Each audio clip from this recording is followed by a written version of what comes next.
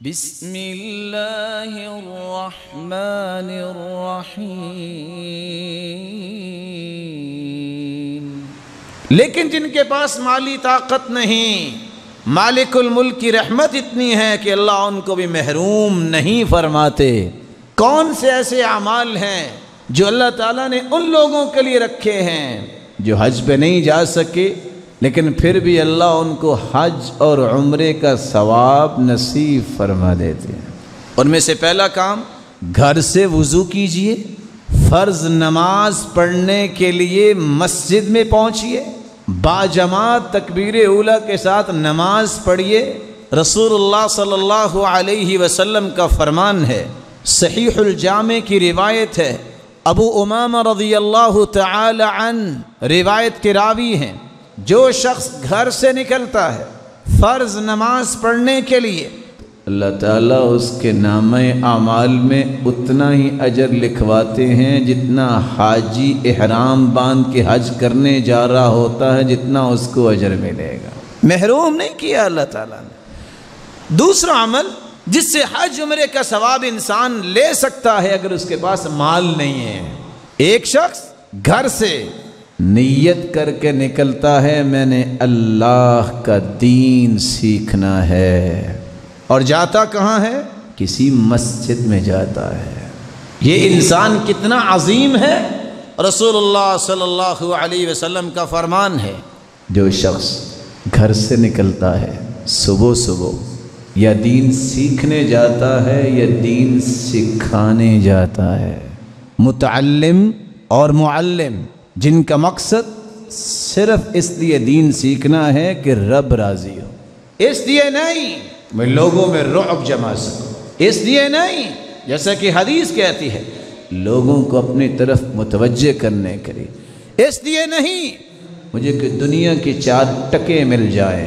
इस नज़रिए से घर से निकलता है, मैं रब के करीब हो जाऊँ, जिहालत मुझसे दूर हो जाए। मेरा रब राज़ी हो जाए।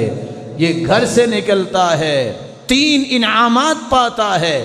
पहला इनाम अल्लाह के रसूल का फरमान है, अल्लाह के नूरानी फरिश्ते इसके लिए पर बिछाते हैं। दूसरा इनाम, ये चल के गया है, सहीहुल जामे की रिवायत है, ये किसी रास्ते पे चला है, किसी रोड पे चला है खा ये गाड़ी पे गया है, इसके पाँव पे गर्द। इसके चेहरे पे इसके लिबास पे जितनी गर्द पड़ेगी क़यामत के दिन जन्नत की उतनी कुस्तूरी इसको नसीब हो जाएगी। और तीसरा इनाम। ये गया है अल्लाह का दीन सीखने और गया भी है मस्जिद में। अल्लाह रब्ज़त इसको उतना ही अजर देंगे जितना मुकम्मल हज करने वाले को अजर देते हैं। तीसरा अमल जिससे एक फ़कीर आदमी भी हज का सवाब ले सकता है, सवाब ही लेना है। मकसूद ही ये है अल्लाह को राज़ी करना। एक शख्स फजर की नमाज़ पढ़ने गया, नमाज़ पढ़ के बैठ गया, ज़िक्र में मशगूल है। कैसे? अल्लाह के रसूल की आदत मुबारक ये थी, आप फजर की नमाज़ पढ़ते, जब तक सूरज अच्छी तरह निकल ना आता, वो ज़िक्र ही करते रहते फिर उठ के दो रखते पड़ता है मन फजर फी जमा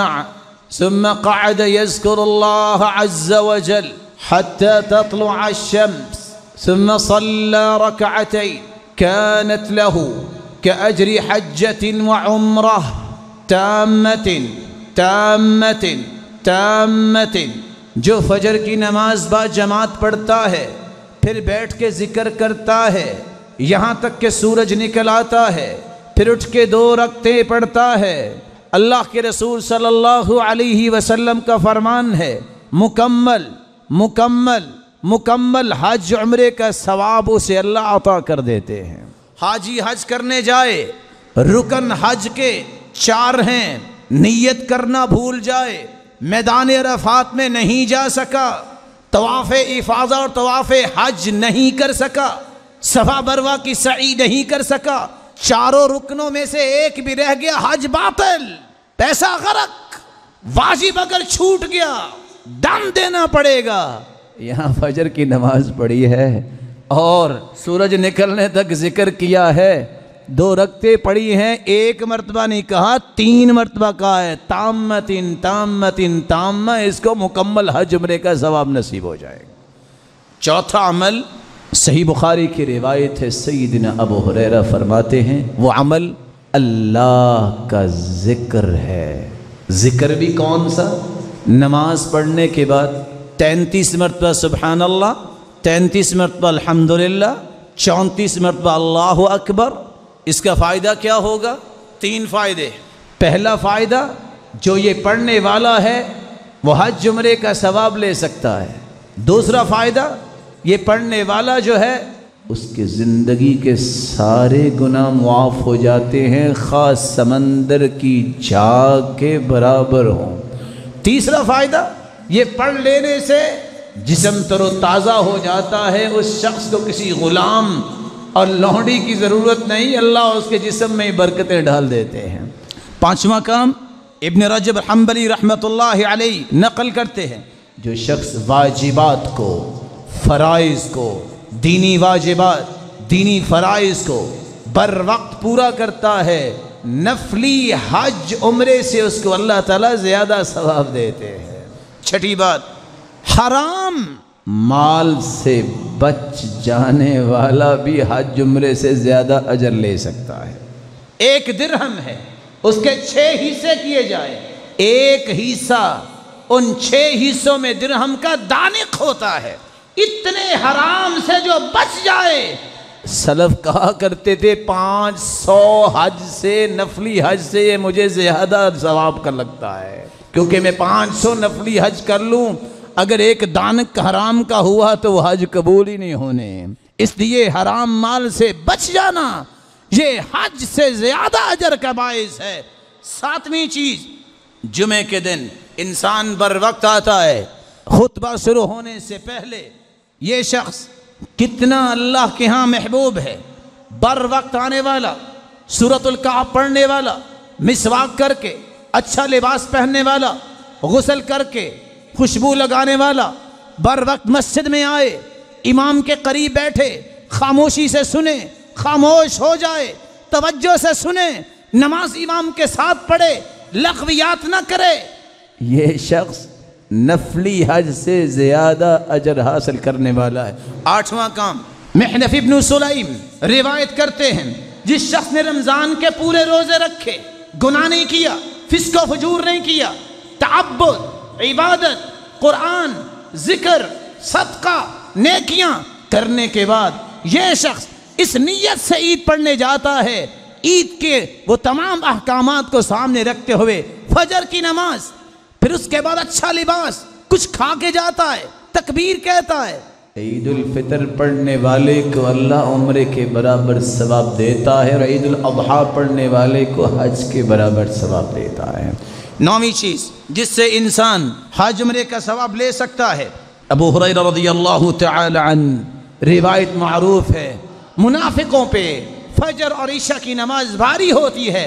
अगर लोगों को पता चल जाए कि फजर और ईशा की नमाज़ बा जमात पढ़ने का अजर अजीम कितना है?